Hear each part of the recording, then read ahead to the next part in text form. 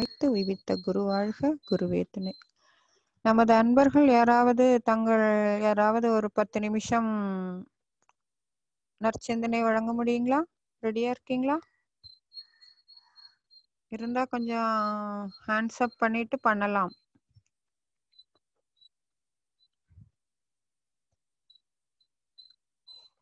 வாழ்க வளமுடன். வாழ்க வையகம் வாழ்க வையகம் வாழ்க வளமுடன் இன்றைய தினம் அருள் தந்தை வேதாத்ரி மகர்ஷி அவர்களும் அருளன்னை லோகாம்பாள் அவர்களும் நம்மோடு சுக்குமமாக இணைந்து நம்மளுடைய சிந்தனையை தெளிவுபடுத்துமாறு வேண்டி விரும்பி கேட்டுக்கொண்டு அனைவருக்கும் அன்பான காலை மாலை வணக்கத்தை தெரிவித்துக் கொண்டு இன்று நாம் தொண்டாற்றி இன்பம் காண்போம் என்ற ஒரு தலைப்பில் சிறிது சிந்திக்கலாம். இதற்கு குரு வேதாத்ரி மகர்ஷி அவர்கள் துணை நிற்கட்டும். தெளிவு குருவின் திருமேனி காண்டல் தெளிவு குருவின் திருநாமம் செப்பல் தெளிவு குருவின் திருவார்த்தை கேட்டல் தெளிவு குரு உரு சிந்தித்தல் தானே என்ற திருமூலரின் பாடலுக்கு இணங்க நாம் தெளிவு பெற இந்த மாதிரி அடிக்கடி சத்சங்கங்களில் கலந்து கொண்டு நற்சிந்தனையை அதாவது நல்லவர்களோடு இருப்பதும் சத்சங்கத்தை நாம் எப்போதும் நமக்குள் கொண்டு வந்து கொள்வதும் தான் நம்மை வந்து தெளிவுபடுத்தும். அந்த தெளிவு நிலையில நமக்கு என்ன ஒரு நிலை ஏற்படும்னா நம்மை தாண்டி அதுக்கு அடுத்த ஸ்டேஜ் அதாவது யாரும் வேண்டி வந்து பிறக்கவில்லை. நாம யாரும் கேட்கல. ஆனா இயற்கையாகவே இறைவனுடைய படைப்பில் நாம் ஒரு ஜீவனாக அவதரித்து விட்டோம். ஆனால் வாழ்ந்துதான் ஆக வேண்டும். ஆனா அந்த வாழ்க்கை சக்கரத்தில் எல்லாரையும் மேல வந்தோம் உண்டோம் கழித்தோம். நமக்காக ஒரு வாரிசை விட்டு சென்றோம். அதோடு நம்மளுடைய பணி நிறைவு பெற்றது அப்படிங்கிற நிலையை தாண்டி இன்னும் மேல ஒரு நிலைக்கு போயிருக்கிற நிலையை குரு வேதாத்திரி மகர்ஷி அவர்கள் நமக்கு தந்திருக்கிறார்கள். அதாவது ஒரு ஆழ்ந்த ஒரு நல்ல குருவை கைப்பற்றி கொண்டோம். அவருடைய வாழ்வில் பார்த்தோம் அப்படின்னு சொன்னா மற்றவர்களுக்கு கொடுப்பதற்காகவே பிறந்த மகான். தன்னுடைய வாழ்க்கையில் தன்னுடைய ஐம்பதாவது பிறந்த நாள் அன்று ஊர் மக்கள் அனைவரையும் கூட்டி நான் எனது வாழ்க்கை அதாவது ஐயா தெளிவு பெற்ற அப்புறம் துரியாதிதமெல்லாம் கிடைத்த அந்த சுத்த வெளியில ஒரு நாற்பது ஆண்டுகள் பய ஆராய்ச்சியில உடற்பயிற்சி கொடுத்து மனப்பயிற்சி கொடுத்து இனி நான் என்னுடைய வாழ்க்கையை இந்த உலகத்திற்காக அர்ப்பணிக்கிறேன் அப்படின்னு சொல்லி ஊர் மக்கள் எல்லாம் கூப்பிட்டு விருந்து வச்சு சாப்பாடு போட்டு அம்மா லோகாம்பாள் அவர்களுடைய பெர்மிஷனோட அவர்கள் அவர்களின் இரண்டு இரண்டு மனைவியரின் பெர்மிஷனோட ஐயா அவங்க இந்த உலகத்திற்கு தொண்டாற்ற போகிறேன் அப்படின்னு சொல்லி வெளியே வந்தாங்க. அதாவது ஒரு துரியாதீத தவ நிலை எடுத்ததுக்கு அப்புறம் ஐயாவுக்கு அப்படி ஒரு ஆனந்தமா ஒரு பாடல்ல சொல்றாங்க தூய பெருவழி துரியாதீதமே துயர் மகள் இவ்விரண்டிடை தூய்த்த என் அறிவை கால தூர பரும விரைவினும் கணக்கினை கடந்தே இறைநிலையோடு இணைத்தது. இனி பழி புரியேன் புரிந்தவை கழைந்தேன் இனி என்னுடைய உடல் பொருள் ஆவி அனைத்தையும் இந்த உலக மக்களுக்கே ஈந்து உய்வேன் அப்படின்னு சொல்லி. அந்த மாதிரி அந் அந்த ஐயாவுடன் இடத்துல நான் அவர் நமக்கு வந்து குருவா வைத்ததுனால நாம அவருடைய வழியில் நாமும் ஒரு தொண்டாற்றி இன்பம் காண்போம் என்ற நிலைக்கு ஒவ்வொருவரும் வர வேண்டும் என்பதே வேதாத்ரி மகர்ஷி அவர்களின் பெரிய அவா. அதாவது ஒவ்வொரு ஆசிரியர்களும் தங்களால் முடிந்த அளவு இந்த உலகுக்கு சேவை செய்ய வேண்டும். அப்போ தொண்டு அப்படின்னா என்ன அப்படின்னு சொன்னா தன்னலம் கருதாத எதிர்பார்ப்பு இல்லாத ஒரு வழங்கல் அது எதுவா வேணா இருக்கலாம். இப்படி இதுதான் அப்படின்னு அதுக்கு ஒரு கோட்பாடு வரைமுறை எல்லாம் கிடையாது.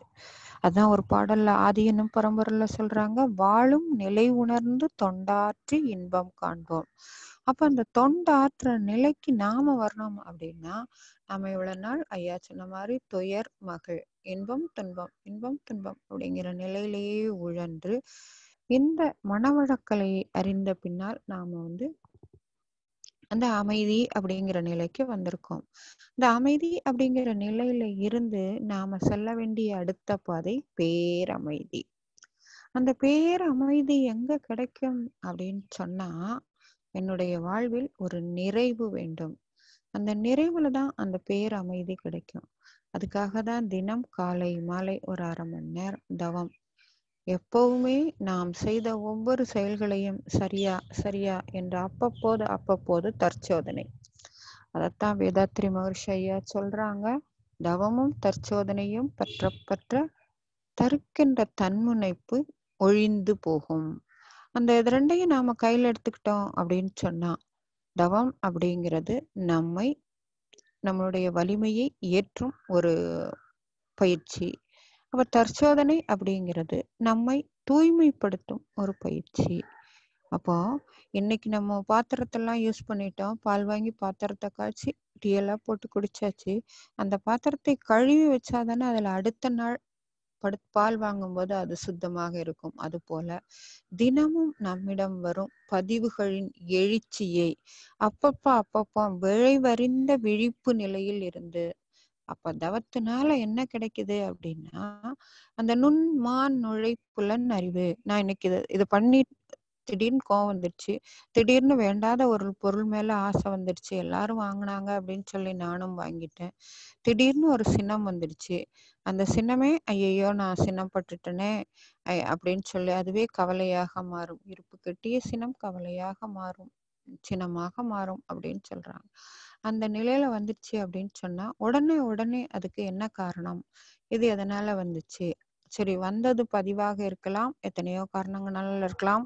அந்த அதை நான் என்னுடைய பயிற்சியினால் எவ்வாறு நான் அதை வந்து அடுத்த முறை இது வராமல் சங்கல்பம் எடுத்துக்கொள்வது. அப்போ அப்பப்போ ஒவ்வொரு முறையும் தற்சோதனைக்குன்னு நேரம் ஒதுக்கணும் அப்படிங்கிறத விட அப்பப்போ அப்பப்போ விழிப்பு நிலையோடு இருந்து நாம வந்து தற்சோதனை செய்து கொண்டே மேலும் தவத்தையும் கூட்டிக் கொண்டே வரும்போது நம்மிடம் உள்ள அந்த வேண்டாத அழுக்குகள் அனைத்தும் களையப்பட்டு நம்மிடம் ஒரு நல்ல இறை சக்தி நிரம்பும் ஒரு நல்ல நிலைக்கு நாம் வருவோம். அப்போ நிரம்பிய குடம் என்ன செய்யும்? வழிந்து மற்றவர்களுக்கு பயனாக செல்லும். அந்த நிலையில நாம முதல்ல வாழ்ந்து வாழும் நிலை உணர்ந்து வாழ்ந்து அந்த வாழ்க்கைய மற்றவர்களுக்கு கொடுக்கணும். கொடுக்கணுங்கும் போது அவங்க அவ்வளவு ஈஸியா சொன்னா கேட்பாங்களா அப்படின்னு சொன்னா இந்த காலத்துல சின்ன குழந்தை கூட அட்வைஸ்னா சொன்னா கேக்குறது அப்படிங்கிற ஒரு நிலைக்கு இல்லாம இருக்கு. அதுக்கும் காரணம் இருக்கு. அந்த ஈர்ப்பு சக்தி விளக்கு சக்தி தான். ஈர்த்து கொண்டது. முதல்ல ஒரு அஞ்சு வயசு ஆறு ஒரு ப பத்து வயசு பனிரெண்டு வயசு வரையே நம்ம சொல்றத கொஞ்சம் கேட்டாங்க. இப்ப அந்த கால இந்த காலத்துல அதுவும் கூட கொஞ்சம் இல்லை. இன்னும் குறைஞ்சிடுச்சு அஞ்சு ஆறு வயசு கூட கேக்குறாங்க. அதுக்கப்புறம் என்ன செய்யறாங்க அந்த நிலை மாறி அந்த விளக்கு ஆற்றல் ஆயிடுது. அப்போ அவங்களுக்கு உள்ளாக நாம அதை கொண்டு போகணும் அப்படின்னு சொன்னா அட்வைஸ் அப்படிங்கிறது ஒரு கரெக்டான இது இல்லை. நாம் வாழ்ந்து காட்டணும். அதான் வேதாத்ரி மகர்ஷி தன்னிலை உணர்ந்து அந் அந்த நிலையில் வாழ்ந்து காட்டும் ஒரு குரு தான் அந்த வேதாத்ரி மகர்ஷி. அப்ப அவர் சொல்றாரு நீங்களே ரோல் மாடல் ஆகி வாழ்ந்து காட்டுங்க. இப்ப இந்த காலகட்டத்துல ஒரு தொடர்ந்து ஒரு லாக்டவுன் இருக்கிற பீரியடில் எல்லாரும் மன அழுத்தத்துல இருக்கும்போது மனவழக்கலைஞர்கள் மட்டும் நாம ஒரு குருவை அடைந்ததனால் இந்த மனவழக்கலையை கற்றதனால் அதனுடைய சூட்சுமத்தை தெரிந்து கொண்டதனால் அந்த தவம் தற்சோதனை அந்த நிலையில நம்மளுடைய மனம் அழுத்தத்திற்கு செல்லாத நிலையில் நாம் இருந்து கொண்டு நாம் ஒரு ஃப்ரீயான ஒரு ஒரு அமைதியான ஒரு வாழ்க்கை வாழ்ந்து கொண்டு இருக்கும்போது அதை பார்ப்பவர்கள் நம்ம கிட்ட வந்து எதனால இந்த நிலை மாற்றம் அப்படின்னு கேட்பாங்க. அப்ப அவர்களுக்கு எடுத்து கூறி அவர்களை மன்றங்களுக்கு கொண்டு வந்து அவர்களுக்கு முதல்ல உடலுக்கான பயிற்சி கொடுத்து அதுக்கப்புறம் உயிருக்கான மன உயிருக்கான காயக்கல்ப பயிற்சி கொடுத்து அதுக்கப்புறம் மனதிற்கான பயிற்சிகள் ஒன்று ஒன்றாக கொடுத்து கொண்டு வர வேண்டியது நம்ம ஒவ்வொருவருடைய கடமை. இது மாதிரிதான் நம்ம ஒரு ரோல் மாடலா இருக்கும்போது நம்மை தேடி வருபவர்கள்.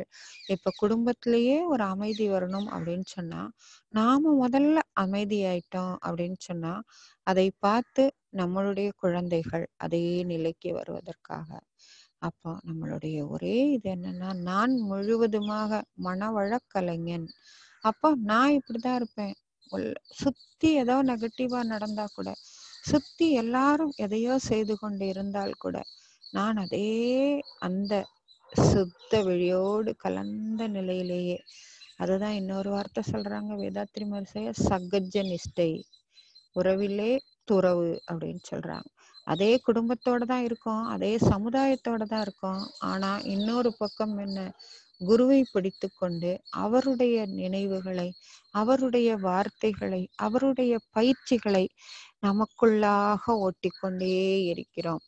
இது தப்பு இது சரி அப்படின்னு சொல்லி நாம் ஒவ்வொரு நாளும் ஒவ்வொரு நாளும் நம்மை சீர்திருத்தி கொண்டு வாழும்போது அதுதான் ஐயா அழகா பயிற்சி கொடுத்துருக்காங்க. எண்ணத்தை ஆராய் ஆசையை சீரமைத்துக்கொள். வேணும் வேண்டாம் அப்படின்னு சீர்படுத்திக்கொள்னா வரிசைப்படுத்திக்கொள்.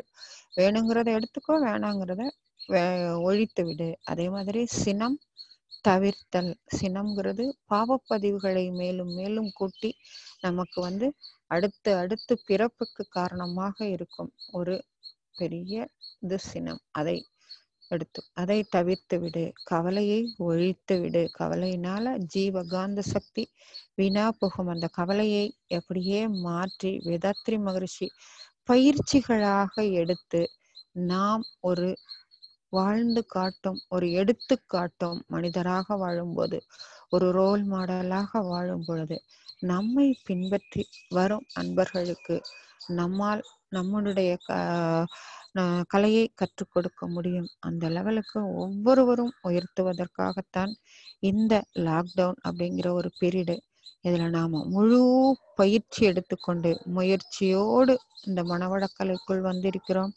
பயிற்சியை முழு ஈடுபாடுடன் எடுத்துக்கொண்டு அதையும் தொடர்ச்சியாக ஏற் ஏற்படுத்தி கொள்ளும் போது நம்மிடம் ஒரு மலு மலர்ச்சி வந்தே தீரும்.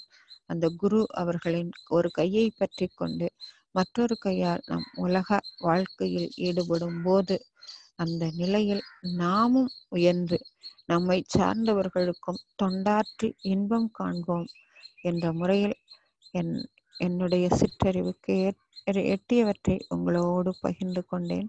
வாழ்க வையகம் வாழ்க வையகம் வாழ்க வளமுடன்.